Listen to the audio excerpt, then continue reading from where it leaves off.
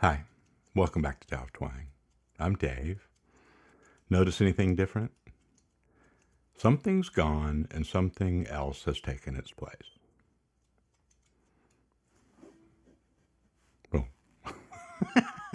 Of like, what, what are you pointing at, man? Uh, that old mic, that SM58, is what it was on that mic stand that's been sitting here for the last year and a half it's out of here. Got this set up now. Got this little condenser mic on this boom arm that's adjustable. It's clamped right here to the edge of the desk. I can move it wherever I want. I think it sounds good. This is only the second video I've done with it. I um, mentioned it on um, Patreon last week because I, I got it in the mail right after I'd already done last week's YouTube video and thanked everybody on there. And let me just say to everyone real quick happy holidays, however you celebrate this time of year. Uh, we just appreciate you so much and have had so much fun this year. And we're just digging down even deeper into this whole thing now, uh, going into um, next year. And part of that is, you know, do, making some upgrades with storage was one of them for, for the files and everything and uh, computer power and you know a little bit of stuff with the lighting and this mic setup. And because of your generosity and support both up here and on patreon um, we're able to do those things and we're able to keep going and hopefully make this better for everybody. So from me and my wife both happy holidays. Appreciate all of you. And now let's jam. So i didn't do an intro uh, demonstration with the backing track and stuff today, right? We're still going to do what we do on the twang. We're going to get some chords, we're going to figure them out, get them going, and then we're going to improvise over them, right? That's what we do on here. And um, there's a lot of different ways you could go about that process, right?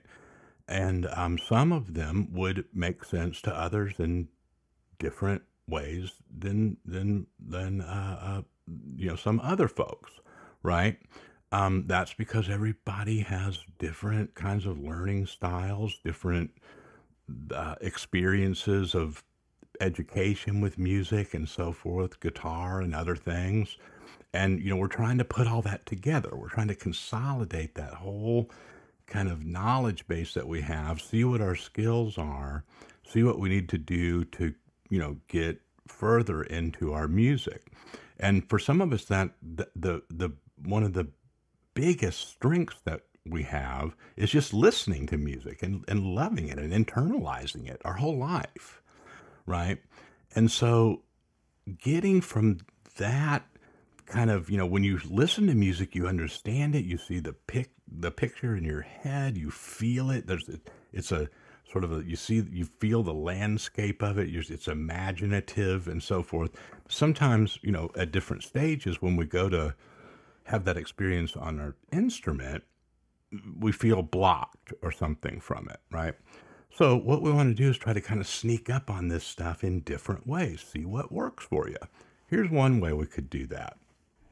And this really gets into like, um, this will have different meaning for people at different levels and so forth. Um, but go ahead and go through this this this process because no matter where you are with your development and your ear training and stuff, there's something here for you. It's worth the time, right? And for some of you, it could be really, really beneficial, uh, and and and create a lot of positive change for you. So let's put this track on. Let's say we're just listening to something. We don't even see, we haven't seen anybody play it. Haven't been told what the chords are and so forth, right? Usually I do all that for us before we even start, right? And you're already kind of in my world, right? But by the time I play that demo and stuff at the beginning, it's kind of like that's my interpretation of it, right? And I don't want you to always be caught up in that, right? This is where you, how you start from scratch. So here's our song. It's it's very repetitive, which serves us well on this channel. Um, and so, you know, how do you how do we figure out the chords? Look for the bass note.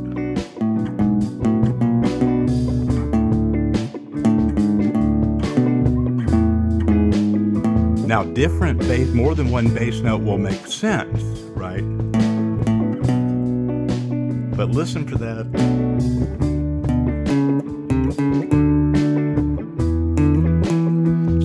If I listen, if it goes up,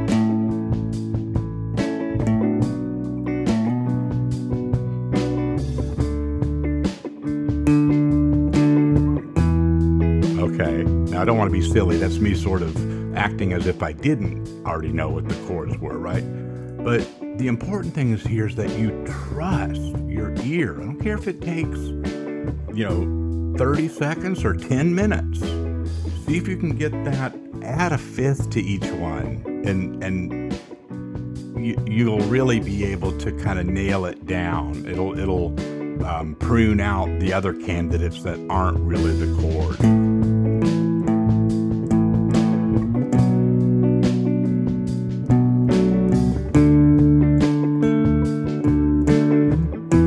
Use that just that power chord shape, right? Now the next quality that we want to search for in each chord is whether it's a major or minor. There's other kinds of chords too, but in a lot of popular music, and in this piece, um, it's going to be one of those two.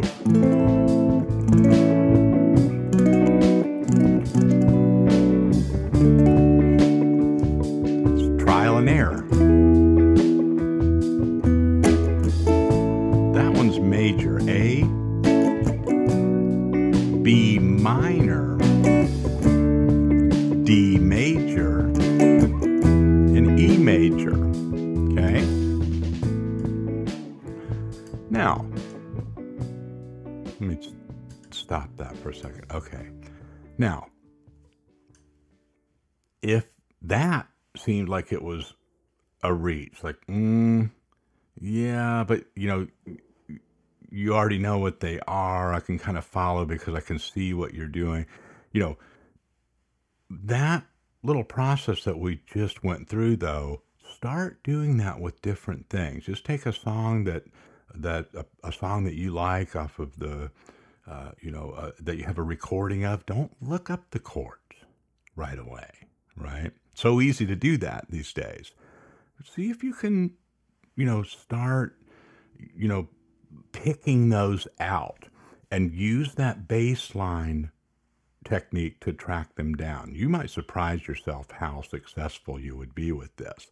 And, you know, sometimes when you've got, you know, four songs to learn before the party or whatever, you know, just look them up, right? You know, I'm not saying not to use technology and information, but don't let it rob you of these uh, developmental experience, experiences that you need for your ear to really do this stuff. Okay.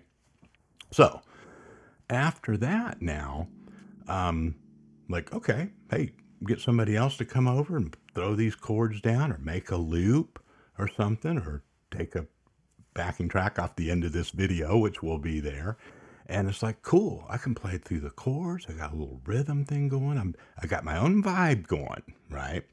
And, um, but now, like, what about the improv part? Like, how am I going to decide what scales and stuff to use for this? All right. Now, there's a bunch of different things that could happen in in in response to that question, right? That this is by no means the the, uh, uh, the, the, the, the, the one and only way to do it, but it's one way.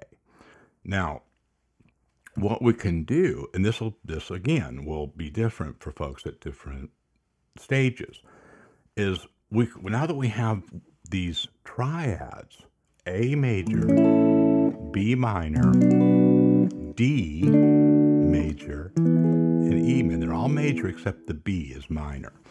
Now we can hunt down our triad tones for each one of those. And you need paper and pen right now. Hopefully it's sitting right in front of you where you practice because you're writing down stuff and figuring stuff out all the time, right? Um, and jot down the triad tones for each one. Now I'm going to put a slide up here in a minute that's got all three of them in it.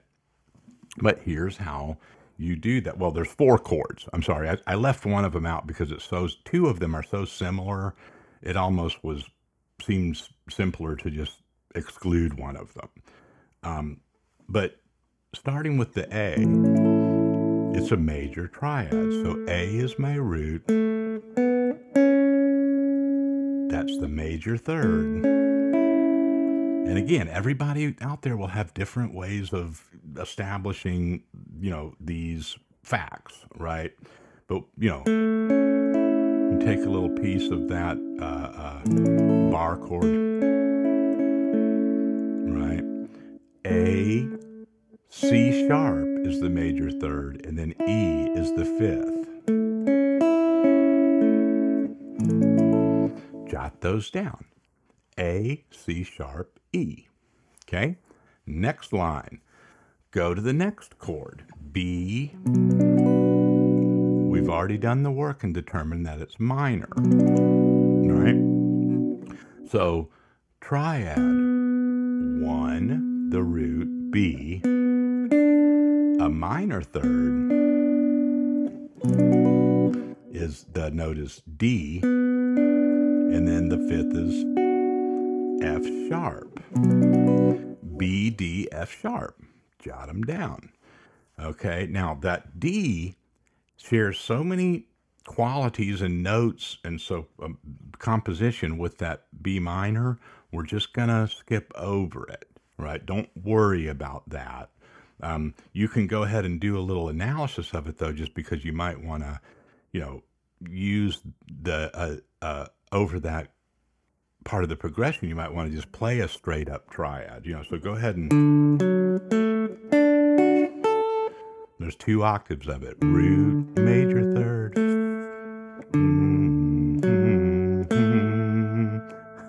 I should sing more what the notes actually are, right? D, F sharp, A. Oh, sorry. D start singing, my brain like switches off a different place or something. So, uh, or and, the, and then D, F sharp, A. See how that has notes in common with the B minor? Okay. Go to that E, all right, because there's some notes in there that we haven't really gotten to yet. So E, it's a major triad, so our major third will be G sharp, and B. Okay. Now, just doing this analysis, you're already preparing to, you know, play some, um, improvise some melody because you could just literally use um, those notes with respect to the chords as they uh, appear in the progression, like this.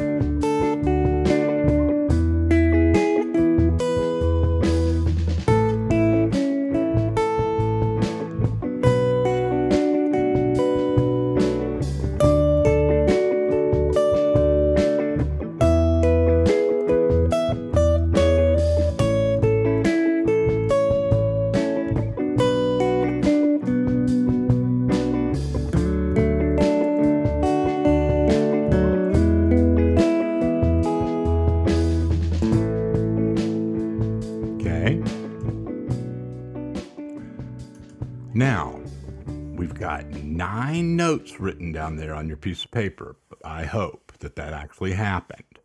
And if we take those nine, a couple of them have duplicates. I've got mine right here. Uh, there's two B's, looks like, in there, and there's two E's. So we can kind of cancel out one of those for each, right? And that leaves us with seven notes.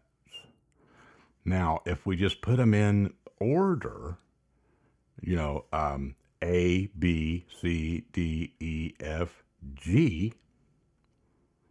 And we've been set up for success on this one, okay? We happen to have selected a key where A is the first one, right? But this would work for any key because those notes, those that alphabet would always be in the same order. Don't get hung up on that right at the moment. So if we put these in order, we get a sequence like this. A, B, C sharp, D, E, F sharp, G sharp. Okay? Now, that if we play those notes, we get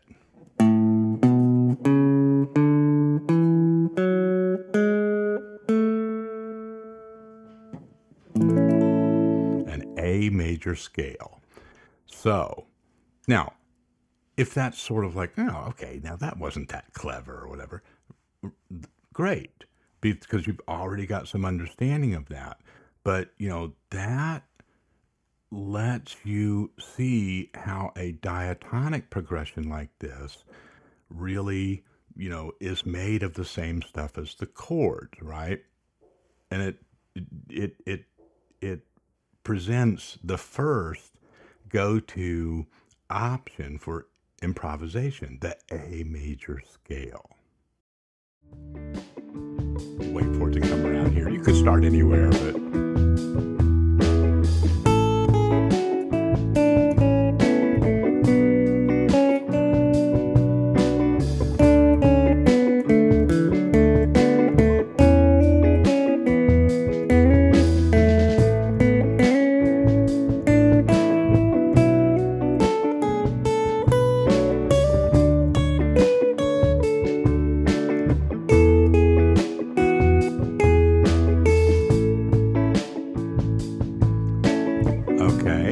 Now I'm just using that scale. Ask yourself, well, okay, you know, what do I do? I've got, I've got do I just play the scale? Sure.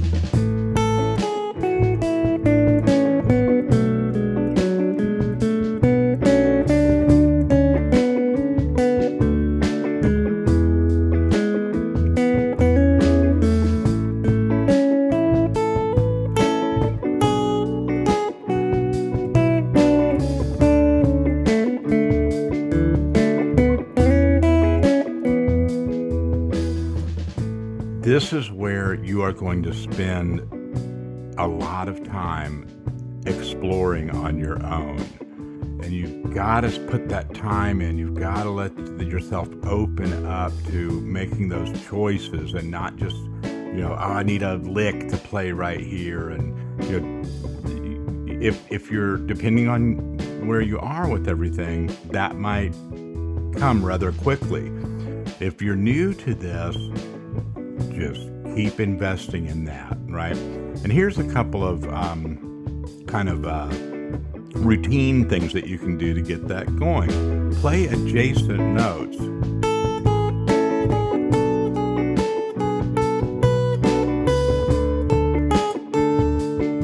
But change directions.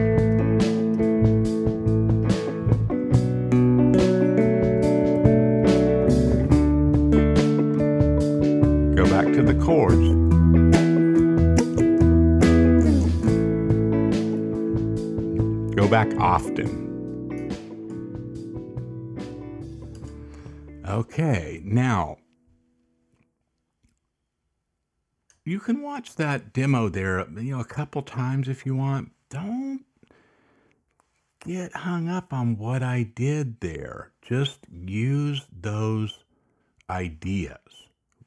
get that scale under your fingers and then start backing up those adjacent notes and moving around. You go up and down this direction as well as up and down in this dimension. And you will discover, you know, you will hit many odd sounding notes along the way, but your ear will sort them out. And if you really get kind of lost with your ear, just go back to playing the full scale.